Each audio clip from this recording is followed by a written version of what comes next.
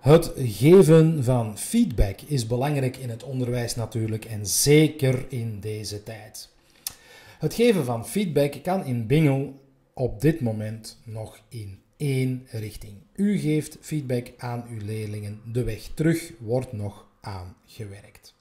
Het geven van feedback kan op twee manieren. De eerste manier is bij de Bingel resultaten.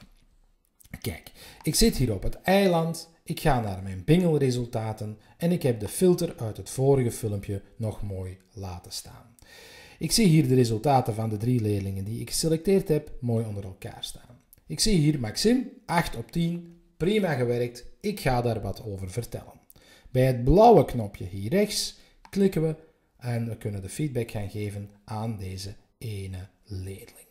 Ik geef een boodschap. Dat kan een vooraf ingestelde boodschap zijn die ik hier heb, die wij voor u hebben ingesteld. Of je kan die eventueel vervangen door een eigen boodschap of nog aanvullen.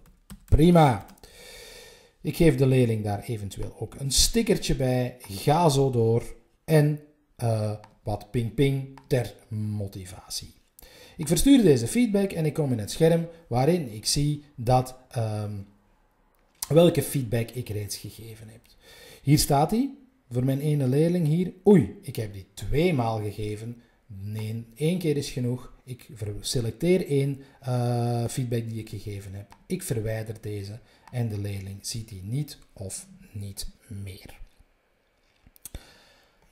De tweede manier om feedback te geven is via het dashboard. Ik zit ondertussen terug in het hoofdscherm van Bingel ik ga naar mijn dashboard en daar ziet u op dit moment één leerling of al uw leerlingen staan. Ik klik zo'n leerling aan, ik zie wat gegevens en rechtsboven het knopje feedback.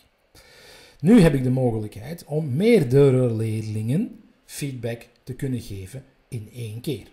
Stel dat ons Shana en onze Casper op dezelfde dag jarig zijn en ik wil hen daarvoor feliciteren via Bingel. Dan kan je zeggen gelukkige verjaardag. Daar is zelfs een stickertje voor, zowel in het Nederlands als in het Engels. Gelukkige verjaardag. Ik geef wat ping-ping voor de verjaardag. Voilà. En ik verstuur deze feedback. Voor ik op deze knop duw, wijs ik u nog, ook nog even op het feit dat u bij elke leerling kan zien, hier onderaan, hoeveel ping-ping hij heeft verdiend gekregen, de combinatie.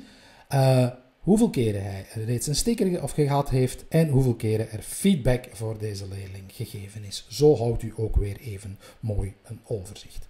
Ik verstuur de feedback van de verjaardag. Ik kom weer in dat scherm voor deze twee leerlingen en prima. Heel wat vragen over die feedback.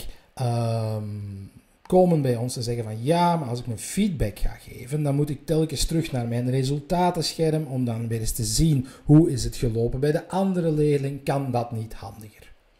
Een handige manier is om twee schermen naast elkaar te openen en op beide schermen aan te loggen. Ik heb dit even gedaan. In mijn rechterscherm zie ik de bingelresultaten die ik wil zien van de leerlingen die ik geselecteerd heb. En in mijn linkerscherm hou ik het feedbackscherm even open en kan ik aan de hand van de resultaten die ik zie, de leerlingen die ik wil feedback gaan geven. Een andere handige vraag, een handige manier om te kijken welke feedback is er gegeven en wat heeft die leerling ermee gedaan, is ja, hoe zie ik nu dat een leerling iets gedaan heeft met mijn feedback en die bekeken heeft.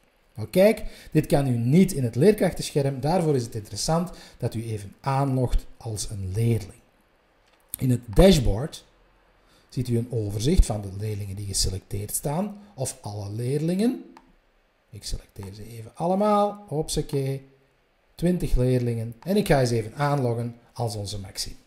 Ik zie Maxim staan, zijn schoolcode 4157, zijn klas, de nummer en het wachtwoord. Rechts staat er een oogje en als ik daarop klik, dan zie ik ook het wachtwoord van deze leerling.